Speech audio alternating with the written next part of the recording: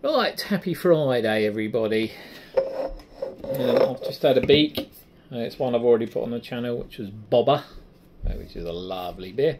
Um, this is a uh, hazy pale ale um, from New Bristol Brewing. Um, nice brewery, actually. I've had quite a lot of stuff from them, actually. I don't know if I kept any of the cans or not. I'm sure I've probably got them somewhere. It's called Fantasia. Uh, it's a Galaxy Hazy Pale Ale at 4.6, so quite low in uh, ABV, but hmm, just soaked everything.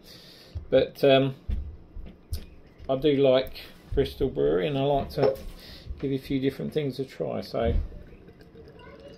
probably did it in the wrong order, having the bobber first because it's a really strong thing. But uh, oh, it's got a lovely colour, isn't it? Really, really lovely colour.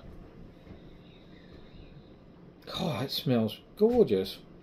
Wow, for a pale ale at 4.6, that smells absolutely lovely.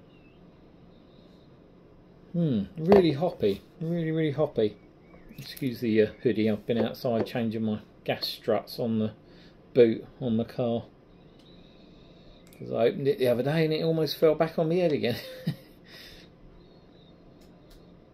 but, uh, just uh, ordered a couple of new ones and they're already on. Good old eBay.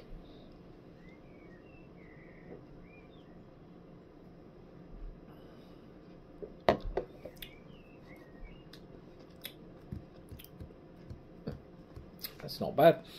Smells a lot hoppier than it tastes actually. Smells quite dank, quite smelly, which I thought was a bit much for a pale ale. I thought when I smelt that, and I was like, God, that doesn't smell like a pale ale at 4.6 or whatever it was.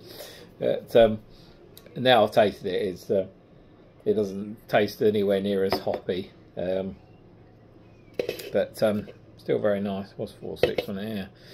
Yeah. Um, yeah, it's nice. Tastes like a, a very good pale ale. It's got a really nice colour that has.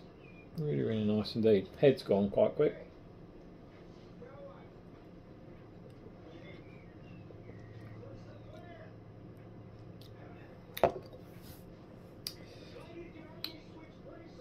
Yeah, that's really good.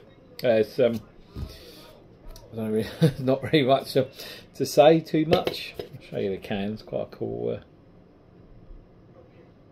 mm, not focusing, but um, yeah, not massively dank. A little bit tropical, but like you can taste the galaxy. Um, I'll give that a 6.5 out of 10, I think. It's nice, very drinkable.